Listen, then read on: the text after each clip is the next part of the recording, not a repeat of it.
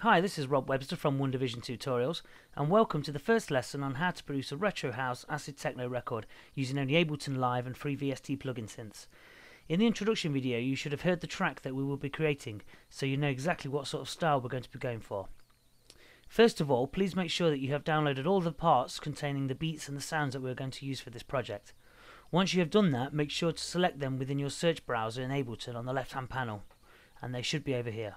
What we want to do in this is to create a track in the style of early house music from the late 80s, such as Kevin Saunderson, Derrick May, Adonis, Trax Records, that sort of thing, but bring it up to scratch with today's technology. We will be using for this first lesson just the 909 and the 808 drum samples which I've provided for you, and we'll be constructing the beat at 125 beats per minute. This course will be quite in depth, but I won't confuse you with anything that is too intense. I will explain things in a clear and straightforward manner. The first lesson that we're going to be doing today is strictly focusing on the beats, but we will be adding some effects on a send return channel, which I'll explain a little bit more later. Okay, so we're going to get started now. We're going to introduce the kick in a moment, but first of all, what I want to do, I want to make sure that we've got the returns set up over here on these three channels here. Now the reason we do this is to save on CPU and also it helps in the mix down later on. It's very similar to busing, but I just like to use these as opposed to setting up a bus channel. There's not a great deal of difference really. So we need a delay, a reverb and a compressor. So A and B should already be installed within your arrangement. So you need to add another one. So just go to create and insert return track and that will come up over here. For the first one, for A, I'd like to get into audio effects and select ping pong delay and put that down here and select it to 30% and 30%. And then for B, reverb concert hall. So we'll go into audio effects again audio effect rack, reverb, concert hall. Put that into there and use those settings. And then for the C, we take a compressor and we put it in and we raise the output slightly and we lower the threshold slightly. This is all a personal tasting. I mean, you can you can have your compressor set whatever you feel is right. So we've got those set up. Now what we want to do is insert the kick. So we find our 99 kick drum in the samples pack that I provided for you. And we copy that over eight times and we loop it. Then we go into session view again. As you can see, the send switch is set to C, which is the compressor. Now I put a compressor on the kick. If I turn that down, you can hear it going up. So that's basically how the send and return work. And it's good to have this for, you know, as I say, for tracks that are going to have multiple compressors on, as opposed to having a reverb for, say, your close hat, your hi hat, your snare, your clap, instead of having individual reverbs on each channel, which will just kill your CPU and make the mix sound really muddy and, and not clear at all. Just have the one over here and then just send it to every time with these faders, with the appropriate fader, which is B in this instance. Okay, Next we want to insert the closed hat and that is over here and it's called CL808 and what we do is we put that on the line at the same as the kick and then we'll drag another one over slack so so and we need to put them under every single kick and they should sound like that. Okay. Put some EQ on again select high quality take the bottom end out slightly. Raise the top end a bit Give it a little bit of a pierce. Next up we want to insert the open hats. So that's down here, HH808 open. But what we do with this is we put it on after every kick. Like so. But with this at the moment it sounds like this. It's it's fully open so, so you get the full length of it.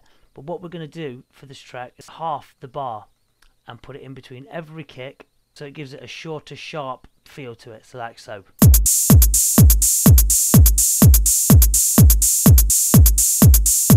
Again, what I've done with that is put some reverb on it, so I've sent that from B in my sends over to here.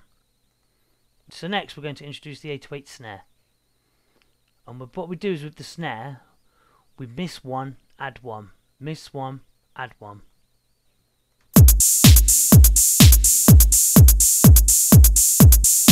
What we do is for this very last box, we put one there and we put one on the very last bar. And again with the sends, we put a slight bit of reverb on.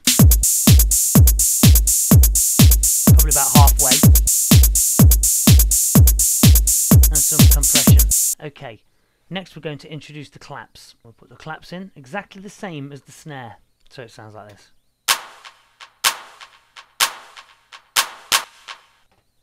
And we've added some EQ here as well. I've raised it slightly just to put out the brightness of it. Otherwise it would sound like that. And also just going back, we've done some EQ on the snare as well. So as you can see we've just lifted it slightly there.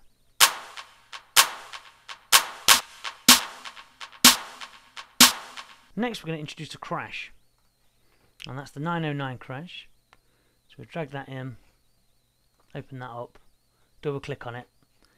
But if you can hear the crash now, quite low and it's quite dull. What we want to do is transpose it up six semitones. Just drop that slightly. And now it will sound a lot more clearer and a lot more crisper.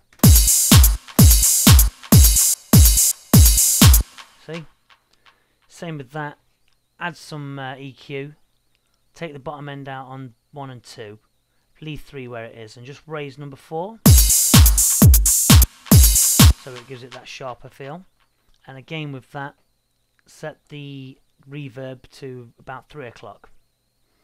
Okay, now what we want to do is introduce 909 ride. But what we're going to do with the ride is we're going to half it like so, and then drag it in again, and then half it again, like that. And then take those two and make six small ones and one half size and copy those over like that.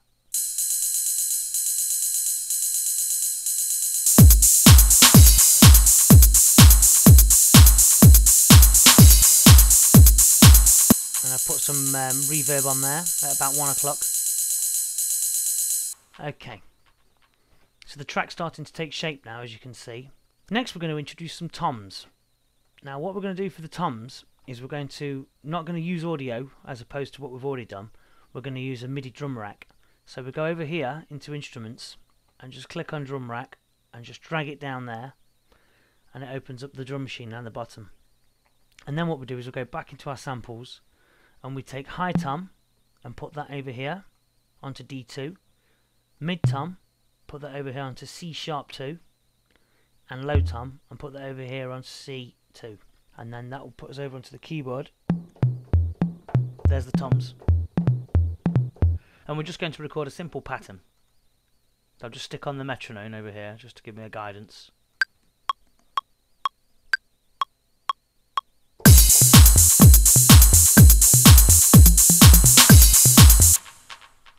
And there you have it. Delete those few. And here is our pattern. Select all of the sounds. Over to edit click quantize and drag them all into time. Take off your metronome.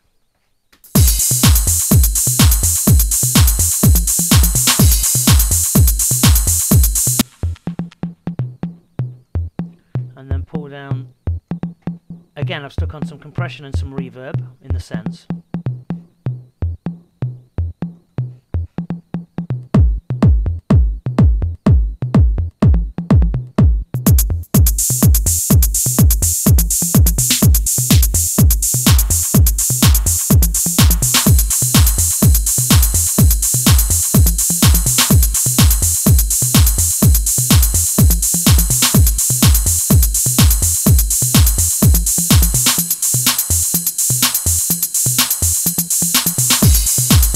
and there you go. There's your toms.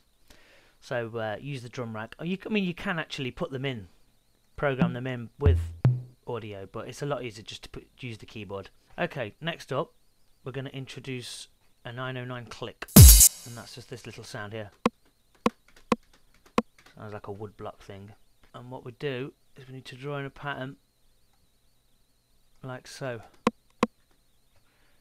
you just follow this, I mean, you can do this any in any any way you like. It's easy if you just do it like this. For now, what we want to do is just get the thing rolling.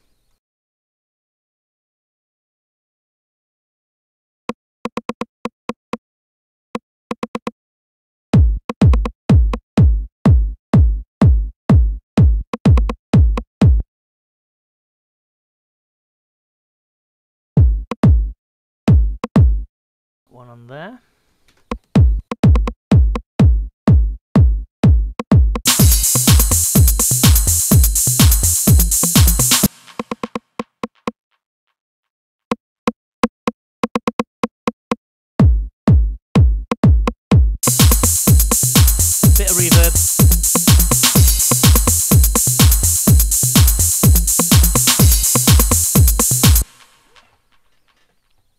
Okay. So the beats is really starting to come together now. Now what we're going to do is introduce the 808 bell. The classic 808 bell that is. And we're going to put that over here onto a second part of the beat.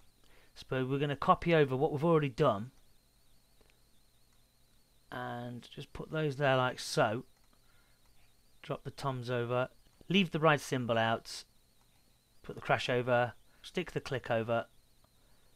And then put the bells on the same as the snare again. And this is just to give the when the track starts to gain momentum, we're going to have a different sort of beat. Now what we're going to do is we're going to have a completely different this is where the clap builds up. So if you can see the claps here what I've done, if you like to copy that pattern for the claps, this is where it starts to build up. I'm going to use this section a little bit later on in the track. So it sounds like this.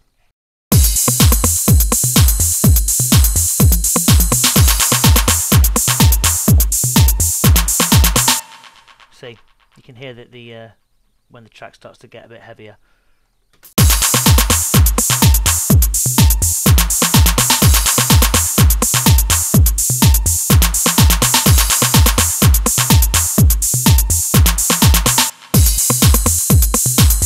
Okay, next we want to introduce a 909 snare on the new part of the drums that we've put in.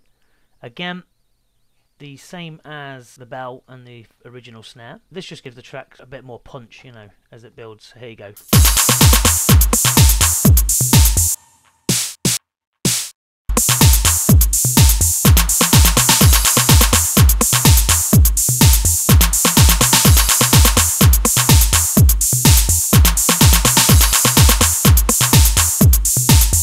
Put some um, high quality EQ on there. Just solo that. Brightened it up a little bit. The click as well also has some top end on it, a bottom end taken out. And the cowbell, same again, quite high on the top end, not so much on the bottom. So here's the beat so far.